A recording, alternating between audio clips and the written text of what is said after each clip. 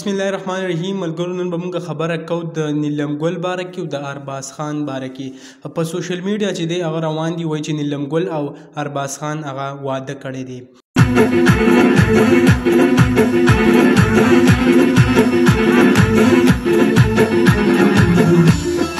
د دې یو ویډیو هغه راغلی دا په ټیک ټاک باندې دا غینه پس بیا خلکو په سوشل میډیا باندې په چینلو باندې په خپل پیجونو باندې دا ویل شروع کړی دی چې آیا د دوانو واده شوی دی د دې حقیقت څه دی په نن ویډیو کې به تاسو ته د دې کم پوره معلومات چې دی هغه درکوم که تاسو خیال کړی د نیلم ګل او د مراد چې کم طلاق شوی دی د یو څو میاشتې د هغه وشو بیا په هغه کې چې کومه جګړه مخې ته راغلی و کم د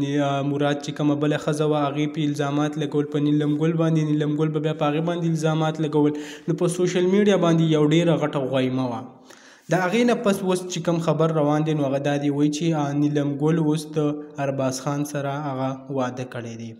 نو ارباز خان نه په یو پروګرام کې هغه تپوس وکړی شو او هغه دا خبره مکمل طور باندې رد کړه چې آیا داسې قسمه واده زمونږ په منځ کې نه دی شوی که بل طرف ته مونږ وګورو نو ارباز خان واده هم کړی دی او نیلم ګل چې کوم دی هغه ته طلاق میلاو شوی دی نو ارباز خان دا خبره رد کړی ده بل طرف ته که مونږ وګورو د نیلم ګل د سایډ نه هم داسې څه پیغام نه دی راغل چې هغه په هغه کې ویلي چې آیا ما واده کړی دی یا نه خو که موږ وګورو نو په سوشل میډیا چې کومې پروپیګنډې روانې دي نو دا هم داسې یو پروپیګنډه ده چې هغه هم په سوشل میډیا روانه ده نو په دې خبره کې هیڅ حقیقت هغه نشته بل کوم ویډیو چې راغلی دا پټ نو دا نیلم ګل هغه ریکارډ کړی دا د ارباز خان سره په ټیک ټاک باندې نو په دې کې څه ریالټي هغه نشته نو امید لرم ویډیو مو خوښه شوي که ویډیو مو خوښه شوي ویډیو لایک کړئ او که زموږ په چینل نوي چینل سبسکرایب کړئ د داسې نور ویډیوګانو لپاره